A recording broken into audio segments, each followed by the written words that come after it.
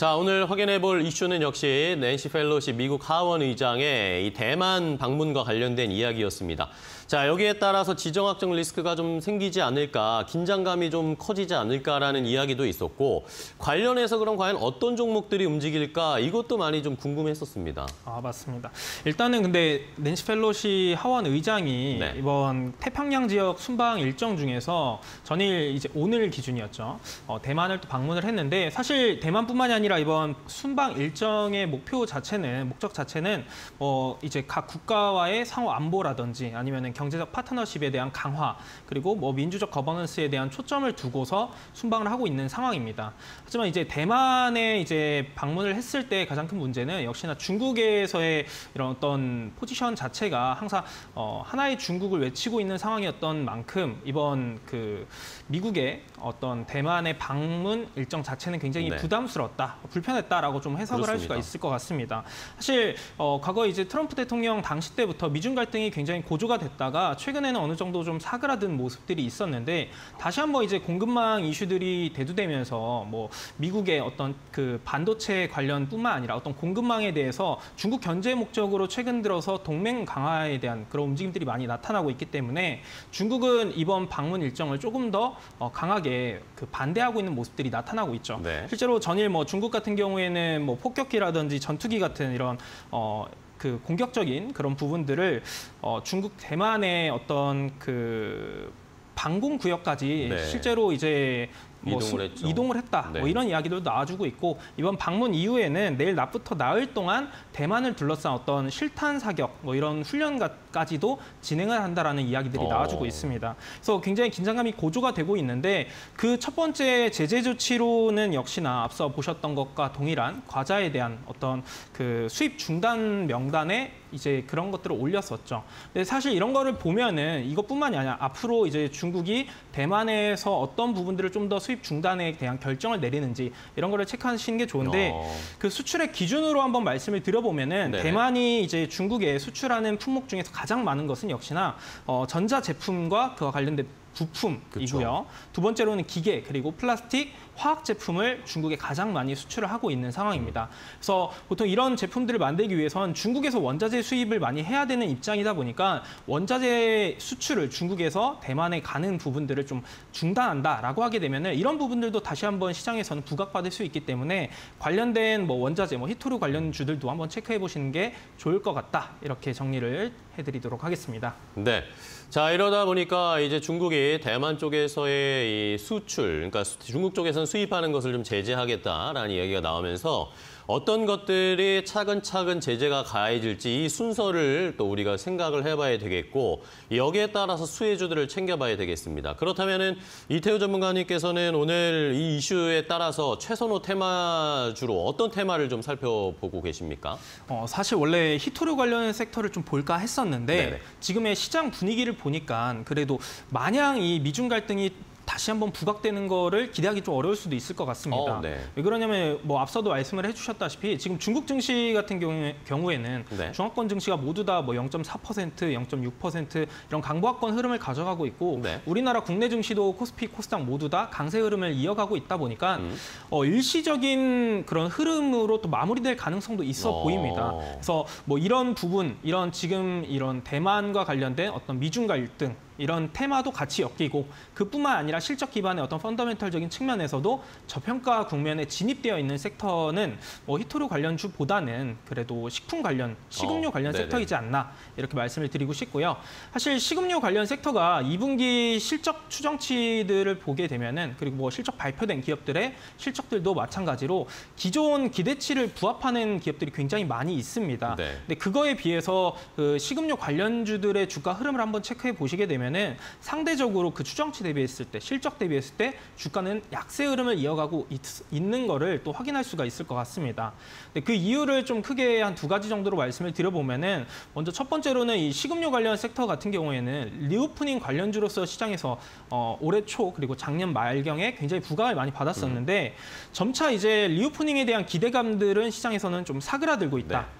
그 그로 인해서 기대감 저하로 인해서 차익 매물이 출회되고 있는 부분도 어느 정도 영향이 있다. 이렇게 보시면 좋을 것 같고요. 네. 두 번째로는 6월과 7월 들어서 코로나 확진자 수가 다시 한번 10만 명대를 음. 돌파하면서 증가세를 네. 가, 져가고 있다 보니까 어, 단기적으로는 이 식음료 관련 섹터의 투심 악화에 대한 부분들도 어, 주가 측면에서는 부정적인 영향을 미쳤다라고 보시면 좋을 것 같습니다.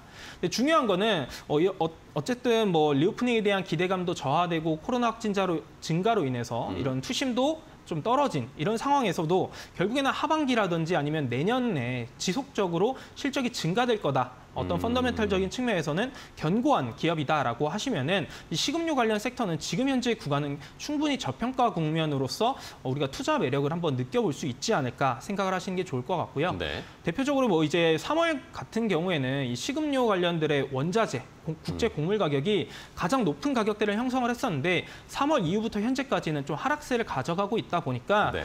어, 이 부분도 굉장히 긍정적으로 평가할 수 있을 것 같습니다. 결국에 어, 기업들이 원자재 가격이 오른 걸로 인해서 제품 가격을 올려놨기 때문에 음. 추후에는 이제 원자재 가격이 떨어진다라고 하게 되면은 그 제품 가격이 한 번 올린 걸 쉽게 떨어뜨리지 그렇죠. 않거든요. 네네. 그러다 보니까 마진 스프레드가 굉장히 크게 발생할 수 있다는 점에서도 어, 하반기 그리고 내년을 한번 바라보면서 식음료 관련 섹터는 어, 지금 한번 충분히 접근을 해볼 수 있지 않을까 이렇게 말씀을 드리고 싶습니다. 네. 자, 이러면서 오늘 시장에서 바로 반응 좀 하고 있습니다. 크라운 제거라든지 혜태나 있죠. 이런 종목들이 오늘 많이 좀 올라가고 있는데 그런 관련 종목을 좀 살펴봐야 되겠는데 오늘 사실 유튜브에서 이 투자 보고 계시는 시청자분들도 이태우 전문가께서 얼마 전에 크라운 제가 소개를 해주셨는데 아, 네. 이게 그때만 해도 이게 갈까라고 생각했는데 진짜 이런 이슈가 엮이면서 맞습니다. 갔다고 하면서 시청자분들도 좀 놀라고 계십니다. 관련된 종목 오늘 어떤 것들을 좀 흐름 좀 볼까요? 어, 역시 뭐 크라운 제과가 오늘 관련해가지고는 가장 네. 대장주로서의 역할을 그렇습니다. 해주고 있는 상황인데 뭐 앞서도 제가 연초에는 사실 이번 이슈가 발생할지는 그 누구도 몰랐습니다. 그렇죠. 그래서 저도 이런 이슈보다는 이 크라운 제과의 기본적인 펀더멘털을 가지고 좀 말씀을 드리고 소개를 드렸었는데 네. 어, 사실 주가 흐름 자체는 앞서 말씀드렸던 코로나 확진자라든지 확진자 증가라든지 아니면 리오프닝 관련 섹터의 어떤 그 기대감 저조 이런 걸로 인해서 주가는 6월경에는 한 차례 하락세를 가져갔었습니다. 네. 그러다가 최근 들어서 좀 횡보하는 흐름을 가져가 다가 오늘장의 이슈로 인해서 대량의 거래량이 동반되면서 강한 어, 상, 상한가에 안착하는 이런 모습들이 나타났습니다. 근데 지금 현재 보시게 되면은 어, 현재 상한가 잔량 자체가 한 50만 주 정도가 되고 있는 상황이에요. 네네. 그래서 이 크라운 제가 같은 경우에 오늘 시장에서 사실 유통 비율을 감안한다라고 하면은 한 30만 주 밑으로 크게 이탈하지만 않는다라고 하면은 내일장의 갭상승도 한번 노려볼 수 있을 것 어. 같다라고 생각이 듭니다. 그래서 혹시라도 보유하고 계신 분들께서는 어, 오늘 이제 상한가 매수 잔량 자체를 한번 체크하시면서 내일장을 한번 노려보시는 게 갭상승을 노려보는 게 좋을 것 같고요. 네. 최대치 같은 경우에는 그래도 4월경에 발생했던 거래량 이 매물대를 기준으로 보시게 되면은 13,000원 구간대에 강한 매물대가 존재합니다. 그래서 최대치는 이 13,000원 아래 구간 정도를 노려보시는 게 좋을 것 음, 같다.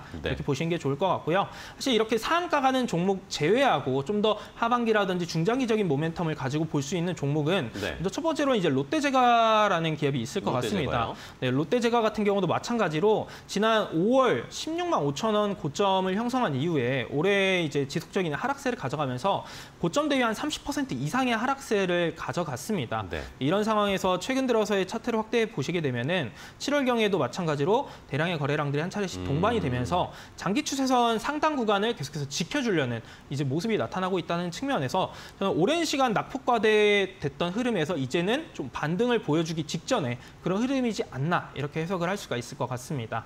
뿐만 아니라 뭐 롯데제과의 실적 같은 경우도 마찬가지로 사실 굉장히 우량한 기업 중에 하나이다라는 그렇죠. 것도 이렇게 확인 할 수가 있을 것 같습니다.